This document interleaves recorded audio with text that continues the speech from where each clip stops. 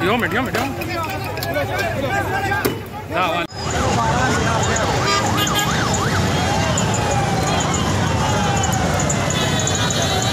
Voilà, tu